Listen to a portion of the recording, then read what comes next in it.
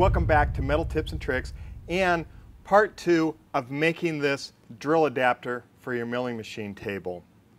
And what this adapter does is it attaches to your drill and goes right into the handle that drives your table up and down. And this is a quick, easy device to make and it's a big time saver to raise and lower your table. And I think you guys would like it. In the first video, what I did is I prepped the material. Then over at the milling machine, I showed you how to line up and drill these holes without using a rotary table, and I think you guys will enjoy that. Now, we're going to take these brass pins, solder them into place, come back over to the lathe, and turn down this shape and get this project finished up. Solder, in my opinion, is one of the best ways to hold metal together, especially dissimilar metals like steel and brass. It seems to hold better than anything out there I know of, including Loctite. It's a simple process. It takes a lot of heat and no skill. What we do want to do is we're going to put some flux in here.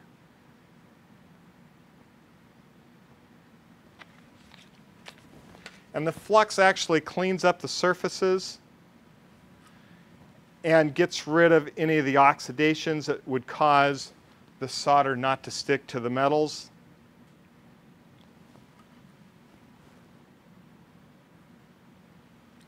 And the great thing is here, once these pins are in place, we just have to hit them with heat.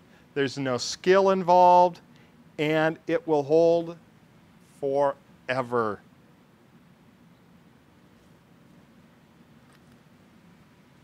But it is going to take a while. There's a lot of material here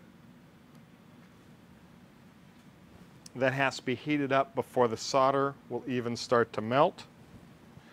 But I've got some time.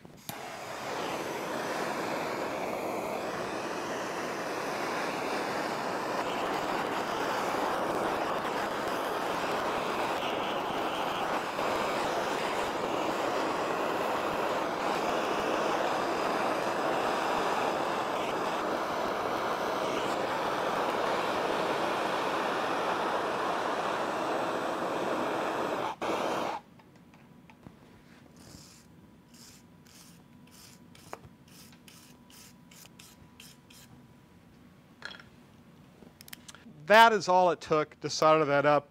You know, I didn't take into account that I'm going to end having to clean the solder out of those pins.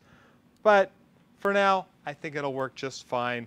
Now, let's head over to the lathe and finish up this project. Here we are back at the Enco lathe.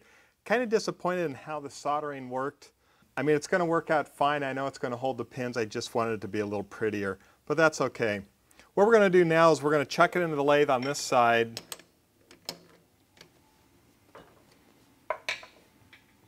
We're going to turn this outside diameter down here and just get that ready to go. Finish off these pins, flip it around, and then do whatever pattern I want to do on that side. So let's get to work.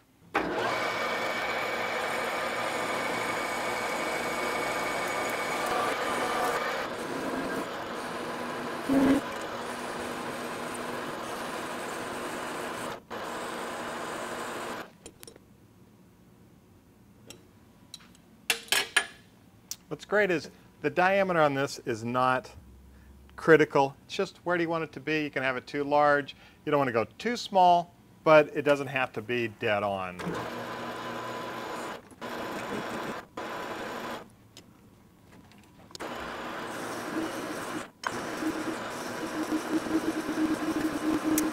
So this is going to take a while. There's a lot of material take off of this to get it down to size.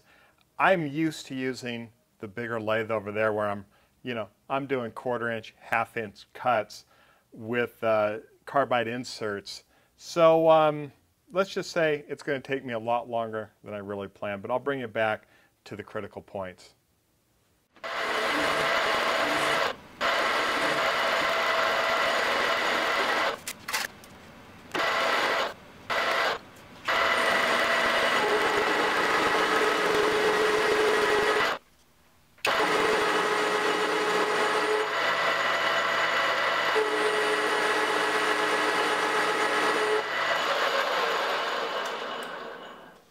Was kind of fun.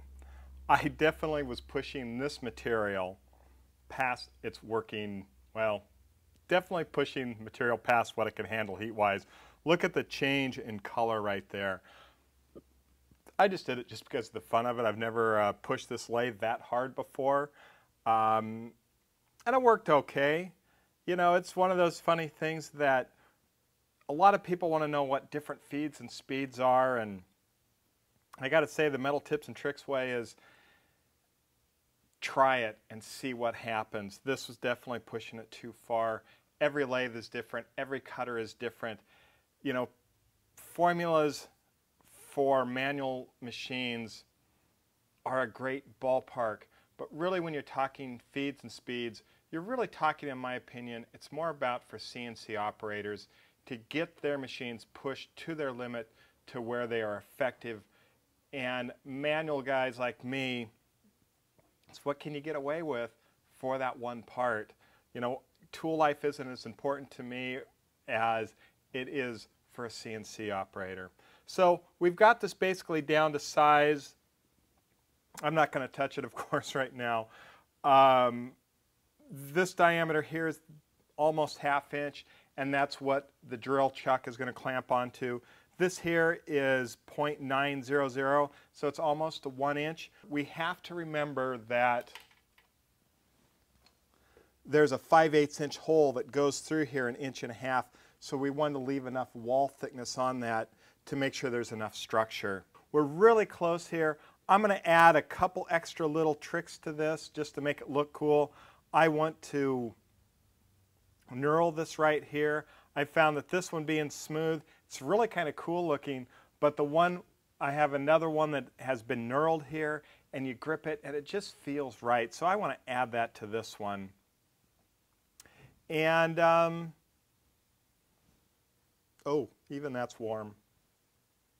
The chuck's warm. Maybe you shouldn't do what I just did. Let me say, I did the experiment for you so you don't have to. So let me get back to turning here and get this set up for knurl.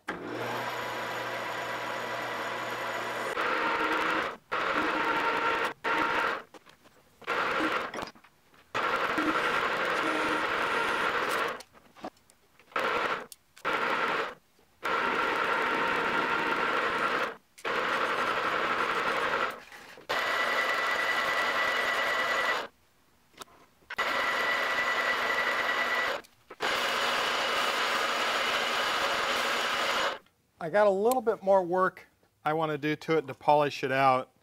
But let's take a look at it. The knurl came out really nice. I'm going to do some stuff off camera and get this polished up to where it looks beautiful. I hope you guys have enjoyed this video. If you did, give me some thumbs up. Also, give me some of your comments. I'd love to hear from you. And remember, till next time, go out your shop, build something cool. Thanks.